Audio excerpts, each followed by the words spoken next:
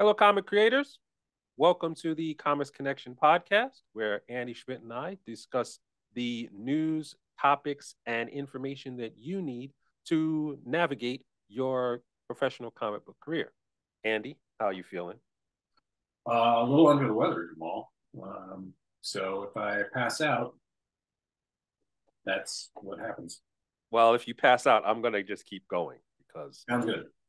Yeah. Nobody wants to hear from me anyway, so that's Thank fine. You. That's fine. Um, let's let's get started with the news. Um, the big story, well, one of the big stories is the came out of Comics Beat, and it was an analysis of the concept that one of the casualties of the pandemic that people may not really be aware of is the idea of comic book sales charts. Because before the pandemic, um, organizations like Comichron and ICV2 kind of crunched the numbers on comics to give people an idea of what comics were being sold, how well they were selling, and things like that. Now, the the numbers were not the numbers were not completely accurate or absolute because in the comic book industry, unlike film or music or anything else, we don't actually track by and large the number of comic book readers who are buying comics. What we're tracking is the number of comic book shops that order comics and then have the comics in their inventory. Whether they sell those comics or not is really anybody's guess because of the nature of the way the comic book industry started. But during the pandemic, a lot of major publishers left Diamond and they went to Lunar and they went to other places. And so now you have this fragmented situation where Diamond is not giving out their sales numbers, Lunar is not giving out their sales numbers. Digital comics like Comixology and Webtoons and everything like that, they're not giving out their sales numbers. So you have a situation where no one really knows which comics are selling well and which comics are not selling well. So you can't even really say, like with a book, it's one of the key tropes in selling a book is this is a best-selling novel. You can't say that in comics in 2023 because you don't know if it's a best-selling comic because you don't know how many issues it sold. So Andy, as a publisher and as someone who actually handles distribution and things like that, how much is the lack of accurate sales data, how much does that impact your business? Well, as a publisher, like I have pretty accurate data on what our comics are selling, right? Because the distributors give me order numbers and then I send them I send them comics. Um, but uh, but not having an idea of like where we are in the mix of kind of everybody else is is um, you know it just kind of feels like you're out in the ocean like with no wind or direction, right? Mm-hmm. Like just kind of like, well, I don't know, are we doing as well as they are? Like, you know, or or is that book, you know, what are, what are the trends going on? You know, keeping track of that stuff isn't life and death, um, or shouldn't be, but um, like I think any publisher that doesn't have a fundamental understanding of like sort of the core of what they do and what they do well um, is going to struggle in, in, an environment where everything seems so wishy-washy. Mm-hmm. Um, but yeah, I mean, right now, like, hey, last month Batman Spawn number one came out. Like, maybe that was the highest selling comic. Well, maybe not. I mean, probably it was. But what does that even mean? Are we talking about, you know, like 500,000 copies? Are we talking about 150,000 copies? Like, I, it, it makes it difficult to set sort of like your targets and your goals. I think if you don't kind of know what the whole lay of the land is. Mm. Um, I don't begrudge the distributors not putting numbers out. Um, I always thought that was kind of strange they did. Um, you know, like in the book world, you, you, know, that's usually behind a paywall at the very least with, you know, Bookscan or something like that. Mm-hmm. Um, but it would be useful. It'd be useful data. You know, a lot of what you know publishers try to do is they try to create comp titles. So like, hey, we're thinking about putting this book together. what are three or four other books that are similar to it, similar price point, you know, similar audience, that sort of thing. And then go, how do they do? And then you look up that data and you can get a picture of how you think your book should do. Mm-hmm. Um, you can't really do that right now with with comics in the direct market. Um, you can do it for in the book market because Bookscan works in the bookstore market. But yeah, I mean that's I mean it's it's a little bit flying blind right now. Well, I think there's also a wider kind of impact on the general market and the general perception of comics because I think one of the things that the movie industry does very well is they promote themselves. So they will, you know, Sunday night you'll will get the numbers coming out of Hollywood Reporter or Variety or whatever that says this movie made a hundred million dollars. And that will prompt other people to go and see the movie to a certain extent because fear of missing out. You don't really get that in comics because, well, nobody knows how many issues of anything got sold. So it's like, well, is this a bestseller or is this a good seller or not? The idea, like the New York Times bestseller charts for books, is a kind of way to promote certain books in the industry. If we don't have those kind of numbers because everybody's keeping their numbers secret, people assume that there is no best-selling book. So it kind of drags down everybody. Right. And the flip side of that argument is, well, if sales aren't good, are they going to fall even further? And, and I don't know what sales are like for everybody else, but I can tell you right now that this, the sense I get is that this market is tightening its belt right now. Mm. Um, started a few months ago, seems to be continuing, and that makes it tougher. You know, with our books that uh, came out six months ago that I thought were really strong and we're going to do well did great. Our books that are in that same zone right now are still doing well, but not as well. And these this is due, I believe, the market forces, you know, far outside of uh, Andy, Andy Schmidt's control. You know, I mean, it's not, it's not. These are market forces, right? I mean, it's like fighting a hurricane. Right. So um, how long will that keep going?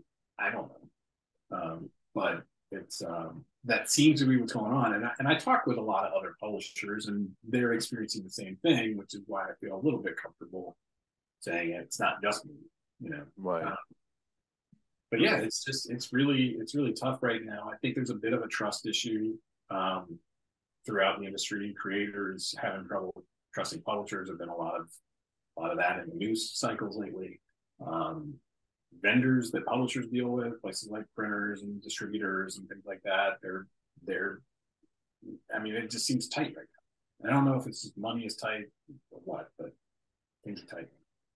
No, which that would make sales charts more useful. Mm-hmm. But I think the fear is like nobody wants to be like, hey, my books are selling this and like come out and be like, we're really proud of these sales numbers, and then have some other company that they don't even know go, our sales numbers are twice that. Like everybody's afraid of being the one that looks bad. Right, right. So it seems like, ironically, the most accurate or the most transparent kind of not really sales numbers or dis- but distribution numbers comes from like Kickstarter and Webtoons because if you go on somebody's Kickstarter page, you know exactly how many backers they have. And you know exactly what they backed at what price. And you could figure out like how much money this, because it says it right on the top of the page, how much money this book generated, period. Yeah, you can figure out the the revenue, right? Mm-hmm.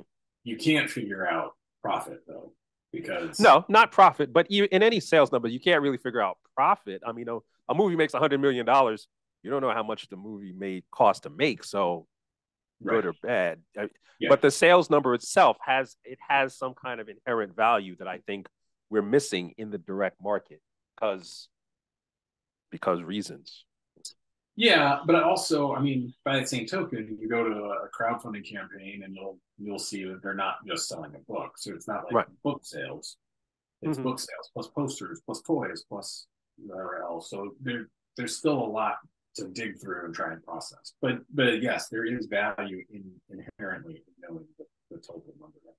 Mm. You'd still have to do a pretty deep dive to get to like how many of the book did they sell? you know? Yeah. Yeah, and those numbers and those numbers are um different from the direct market numbers too because those are direct to consumer numbers. That's not a store buying the book and then maybe or maybe not selling those copies. It's somebody actually bought the book. So yeah, somebody put their money down. Exactly. Exactly. All right. Uh, moving on to a completely different segment of the industry. You and I started talking late last year, and the industry itself has been talking for months now about um, AI art and AI scripts being used to generate comics and potentially undermine or end the careers of a significant segment of the population because they will be replaced by AI art. And one of the things we talked about was the idea of a class action court case being brought to kind of stop this process from happening. And last week or early this week, that case actually started in California. There is a class action lawsuit um, against the developers of the AI learning software and against Microsoft and against like several other people. And the claim is basically copyright infringement. So, Andy, my question to you is Are you, A, are you surprised about the case? B, what do you think the case means for AI art and let's call it organic comic book art going forward? I'm a little surprised uh, that there is a case just because, you know, um, comics creators aren't like well known for being good at organizing. Mm-hmm. Uh, you know, our, our our attempts to organize a union and that sort of thing as creators, it's never really materialized. So this, in my mind, this came together pretty darn quickly. Now it has implications beyond comic artists. I think that's part of it. Like it's a wider the wider issue. Um, so I was a little surprised. Excuse me. Sorry. Um, Don't die. Uh, in terms of implications, like I'm really curious to see where it goes. I probably do not have a full understanding of, the, of exactly the legal argument um, that they're using. But if I understand the part of it correctly that I think I understand, I think it's an interesting, I think it's an interesting inroad for the case, but um, uh, you know, what are their chances of success? I have no idea. If only I knew an attorney who could talk to it. So, Gamal. Well, um, can you kind of explain the, the crux of? Sure, sure. The the idea is if AI is using images that they have scraped from the internet to actually inform the machine learning and that's how the AI is able to produce images, then the legal argument is where they got the images from and what permission they had to use the images. Because most of these images are copyrighted images that belong to some person, some company, somebody. They're not just sitting out there. They didn't, if the AI only used public domain images, then there would be no case because it would be public, it would be public domain, and that's fine. What the AI did, though, what the programmers of the AI did was they had the their system um, scrape billions of images that they did not own and they did not have permission to use. Now, the fundamental idea behind copyright is you have the right to say how your images are used. They completely ignored that and just decided to use the images anyway under a concept called fair use.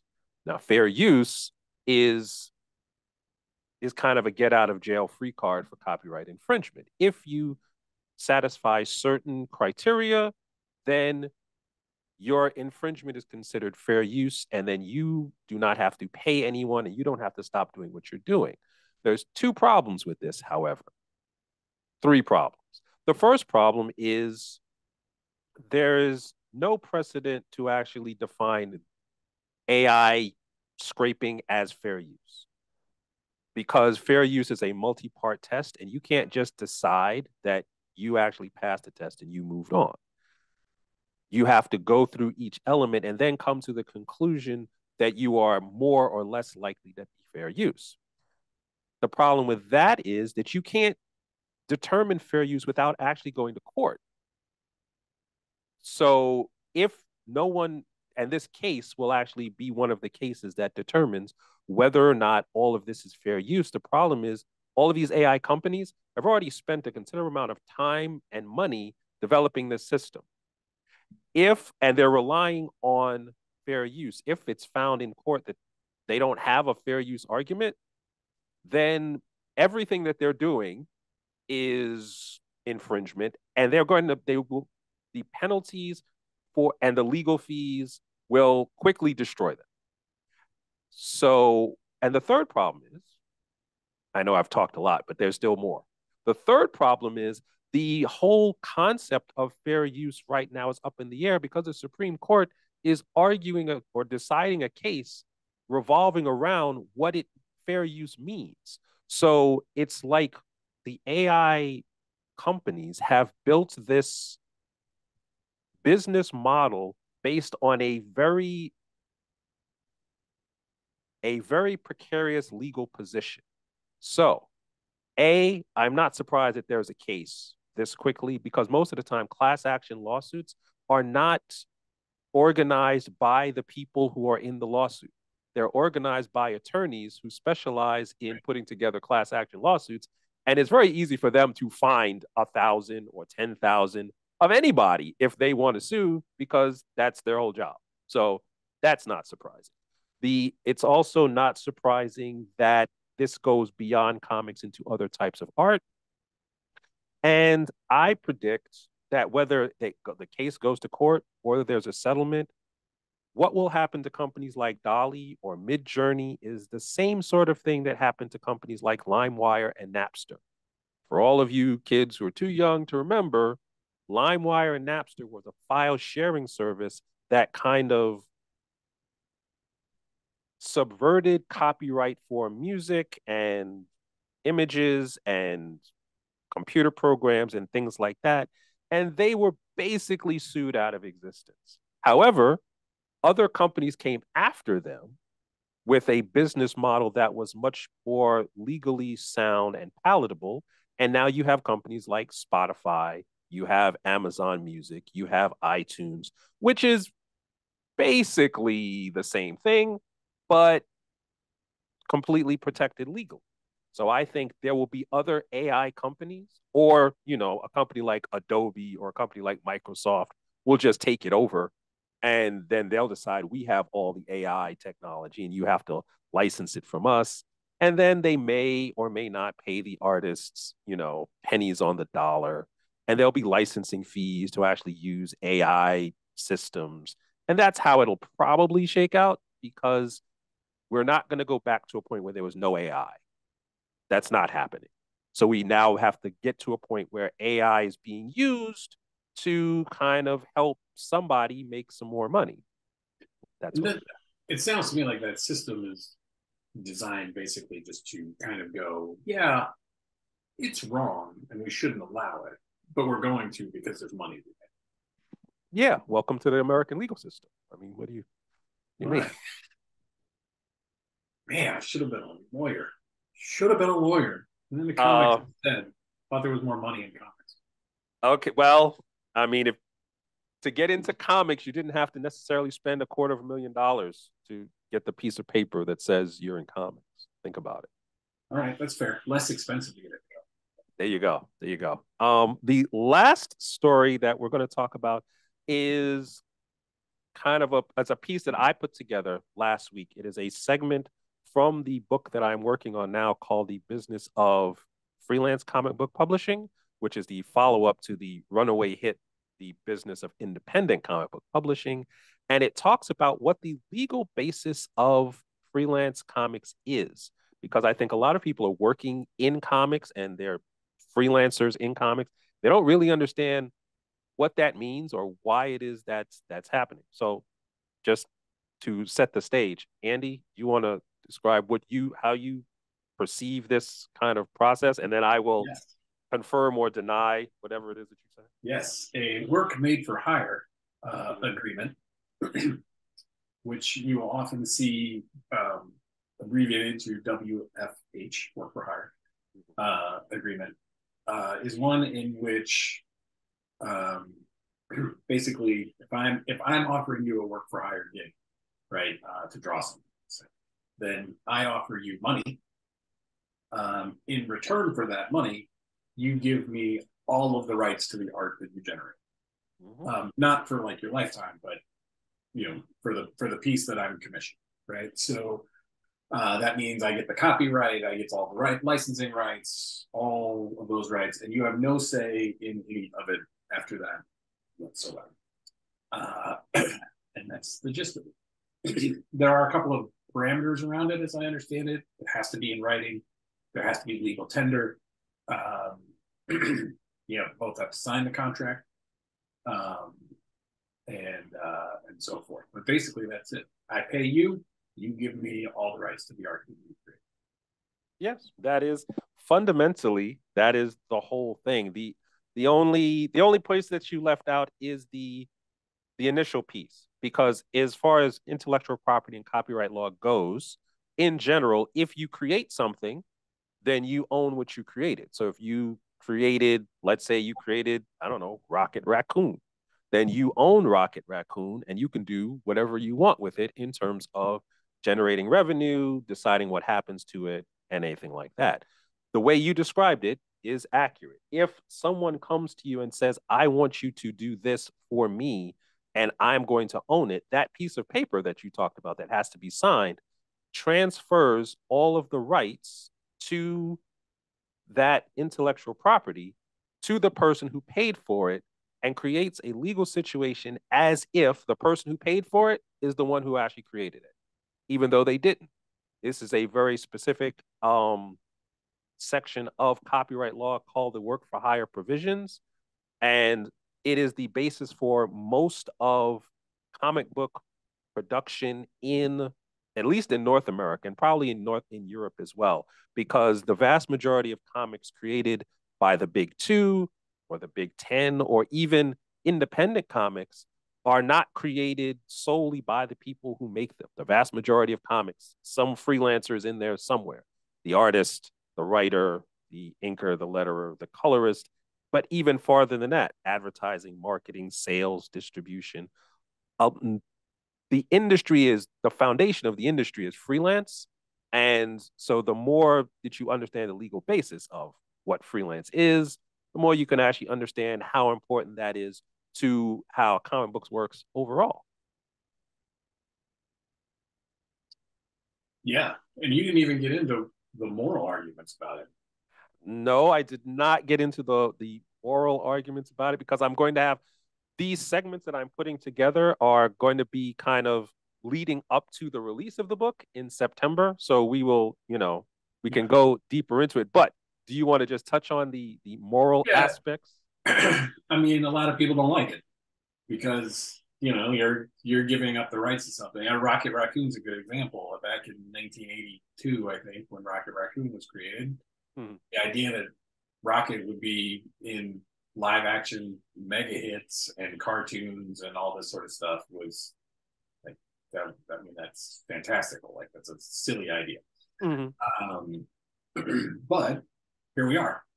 He's everywhere, and those creators don't don't really get to participate a whole lot in that. They, they, yes. they rely on the benevolence of Mickey Mouse to say, you know what, we did okay with this, therefore we're going to cut you a check. But we get to decide that check, or we get to say thanks or, or whatnot. And creators, for the most part, go into these contracts now understanding that. So at least, you know, but back in the 60s and before that, they didn't really understand what they were signing often. Yes. Um, so it is different from then to today. You know, people say, "Ah, oh, they're ripping me off the way they ripped off Kirby." Well, not really, because you knew. Mm. Yeah. Well, there's there there's other factors. You know, if you look at the the history of comics, that a lot of times in when you're talking about the 60s, 70s, um, there's actually a very anecdotal quote from Stan Lee that says a lot of the people in comics didn't even want to admit they were in comics. They said that they were doing something else. And so the idea of fighting to own the stuff that they created was didn't even make sense to them because they didn't even want to admit that they created these things. So, and then you get into the, the situation where you are correct. If somebody creates Rocket Raccoon or they create uh, Kitty Pryde or the Winter Soldier, and they do not, they get paid up front. So if the the character or the comic or anything else, if the whole thing bombs, the person who the freelancer doesn't really care because they got paid up front. If the comic book never comes out, freelancer also doesn't really have to care because they got paid. And you know, there's a depending on how it's set up, there's a low risk to the freelancer for right. creating comics because most comics don't make a profit and most comics do not become, you know, multi-generational um transmedia mega hits. So the i the idea that if you get into comics as a freelancer, it's low risk up front, but it's also low reward long term because, like you said, you don't get to own the t-shirts, toys, tchotchkes, or anything else. You just get what you got up front. Now, if there is none of that later on, there's no movie, there's no TV show, there's nothing, you still got what you got up front. So, you know, you take a smaller piece of something as opposed to a, you know, larger piece of something that may never happen. And most of the larger companies, and by most I mean Marvel and DC at least, hmm. um, they have what they call in their contracts. They have what's called the new character agreement. So if you're yes. creating a new character, there is some built-in aspect of sharing or whatever. You know, you get some piece of mm-hmm. Depending on where it's where the character is used. Um, those are still kind of iffy sometimes. Like I don't, I don't, you know, the Winter Soldier is a good case. Um, I remember because I worked, I was an editor on the Winter Soldier stuff, and I thought they'd worked out a really good deal so that despite the fact that the Winter Soldier was Bucky, a pre-existing character, they managed to create a new character and gave Ed and Steve, the creators of Winter Soldier, this new character agreement. And then later I found out that you know there was there was some funny business that went on later. But um, I remember at the time actually being like really like happy for them, hmm. and I thought like Marvel had really done the right thing here. Now I don't know what happened after that that. Um, it seems to have gone sour since then. But I remember at the time being like, "Oh, this is great! Like they did the right thing." Um, but you know those deals you know you don't get really get to negotiate those. It's the contract standard and it is what it is. And mm-hmm. um, and it's also very difficult to like you can't really like audit their books. Like you don't get that in in in your in writing. Um, yeah.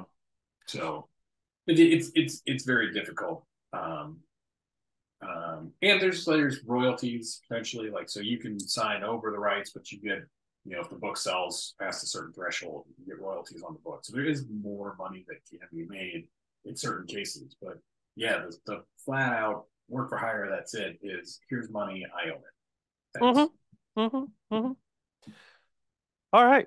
So we have actually covered a lot of ground here. And once again, I believe we've gone over time. Um, which means we probably should just extend the time as opposed to like pretending we're going to do it one time and then like always being late. I mean, we'll talk about that. We're being extra. We're giving you yeah. extra. Yeah, time. yeah. Super yeah. size. Super size. Yeah. All right. So if you guys want to actually be part of these ongoing conversations that we're having on our Discord, in our live uh, Q&A sessions, um, or anything like that, we're going to leave the links to join Comics Connection. Um, if you'd like to see more of the Comics Connection podcast, please like and subscribe. And until next time, have fun with your comic.